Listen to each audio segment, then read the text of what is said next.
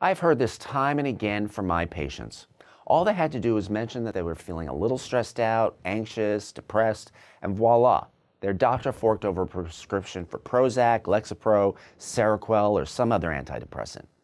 Antidepressants have become so common, many people think of them as no big deal. But make no mistake here, folks. These are some heavy duty drugs that can have serious, life altering side effects.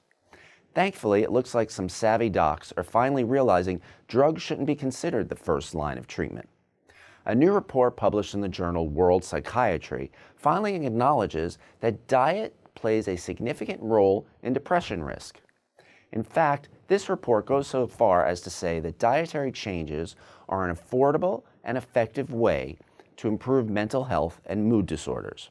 Indeed, we've known for years that a number of nutrients have been proven to promote mental health, such as omega 3 fatty acids, B vitamins, choline, iron, zinc, magnesium, vitamin D, and amino acids. And I am thrilled that some mainstream psychiatrists are finally getting on board too. The fact is, no one needs dangerous drugs to feel their best physically or mentally.